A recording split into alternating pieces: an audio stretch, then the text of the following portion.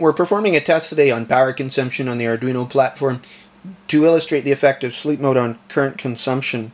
The Arduino was never actually designed to run for long periods uh, on battery only, as the linear regulators just draw too much current. So what we have here is the trigger trap. It's a universal Arduino camera trigger, and it was designed from the ground up to consume as little power as possible. Powering up on the left side here, by interrupting the battery, we can see we have a current measurement. It's drawing 7.5 milliamps in uh, normal mode when it's on here. Uh, on the left side, we can see our um, power our, our, battery voltage. Uh, the power source being three AA batteries with a nominal capacity of about 2,500 milliamp hours.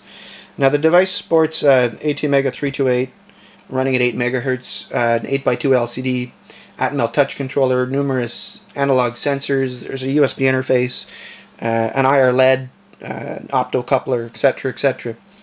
Now, it was intended to trigger on selectable conditions, light, time-lapse, auxiliary, uh, laser, sound. For our test, we're going to use the time-lapse mode. We'll set the interval to uh, 7 seconds.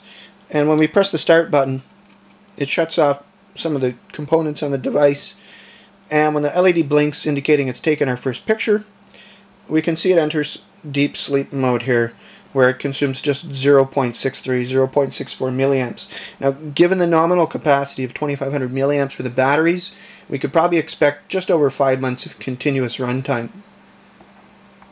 Turn it back on, and power consumption comes back on uh, as the uh, devices are enabled and the CPU is running at full speed.